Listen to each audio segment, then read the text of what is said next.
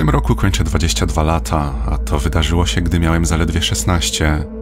Kiedy się urodziłem, jedną z pierwszych rzeczy, które moja babcia powiedziała mojej mamie, było to, że jest we mnie coś, co wyróżnia mnie spośród innych członków rodziny. Nigdy w to nie wierzyłem, a przynajmniej do momentu, kiedy przydarzyło się to, o czym chcę Wam dziś opowiedzieć. Byłem zły, ponieważ byliśmy przed przeprowadzką i musiałem opuścić wszystkich moich przyjaciół. Oczywiście nie miałem w tej kwestii nic do gadania. Starałem się mimo wszystko zrozumieć i uszanować decyzje rodziców. Moja mama wciąż pracowała w mieście, z którego się wyprowadziliśmy, więc często wyjeżdżała do pracy na kilka dni. Nasz dom był podzielony na dwa mieszkania. Na parterze mieszkali moi dziadkowie, natomiast na górze mieszkałem ja z moją rodziną.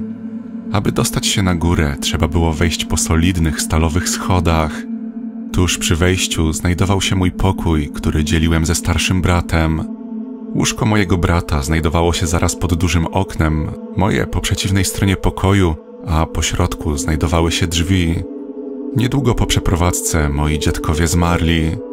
Pewnego dnia moja mama wyjeżdżała w delegację, więc zawieźliśmy ją na stację kolejową. Płakałem praktycznie za każdym razem, gdy ta wyjeżdżała. Kiedy wróciliśmy do domu, zaczęliśmy z bratem oglądać telewizję, podczas gdy nasz tata pracował na laptopie.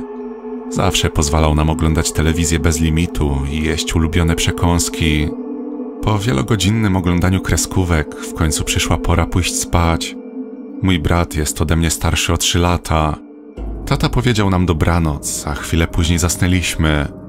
Nagle w środku nocy obudziło mnie jasne światło. Spojrzałem na brata, który również się obudził. Parę sekund później dostrzegliśmy cień w kształcie człowieka, powoli wspinającego się po ścianie naszego pokoju. Początkowo nie byłem przestraszony, a bardziej zdezorientowany, myśląc, że to nasz tata robi sobie żarty. Cień wyglądał jak człowiek, nie licząc dziwacznego kształtu głowy i nieproporcjonalnych rozmiarów kończyn. Wtedy cień zaczął schodzić po ścianie w dół, a gdy znalazł się na poziomie podłogi, zaczął powoli skradać się w kierunku mojego brata. Przerażające było to, że cień bez przerwy zachowywał się bardzo niezdarnie, zupełnie jak postać z jakiejś kreskówki. W tamtym momencie już naprawdę się bałem. Wiedziałem, że to coś nie jest człowiekiem.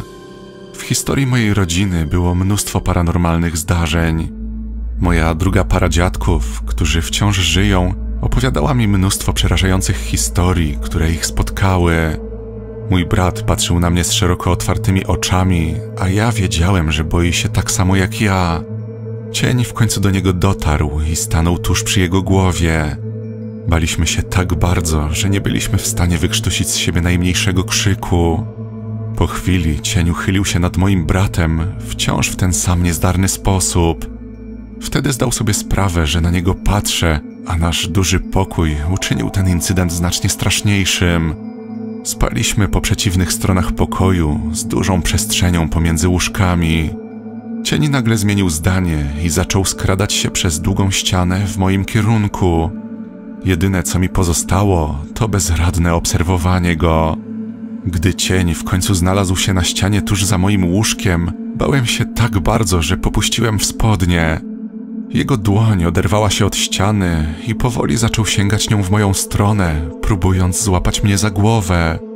W tamtym momencie widziałem tylko czarną pustkę zasłaniającą mi cały widok. Z każdą sekundą czułem coraz większy chłód, przeszywający całe moje ciało. Gdy dłoń znajdowała się tuż przy mojej twarzy, resztką odwagi zacząłem głośno krzyczeć. Parę sekund później do pokoju wbiegł mój tata, a cień zniknął, tak jakby nigdy go tam nie było. Opowiedzieliśmy mu o wszystkim, a ten stwierdził jedynie, że nie możemy już przed snem oglądać tyle kreskówek. Po pewnym czasie rodzice postanowili przeprowadzić się na parter, a ja i mój brat nigdy więcej nie widzieliśmy tego cienia. Czasem jednak budzę się w środku nocy z potwornym bólem w klatce piersiowej i nie mogę się ruszyć.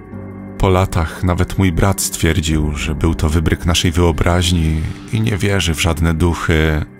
Czasem próbuję z nim o tym porozmawiać, ale ten zupełnie nie chce w to wierzyć i tym bardziej o tym rozmawiać. Jestem pewny, że nie był to żaden paraliż senny, skoro mój brat przeżył dokładnie to samo.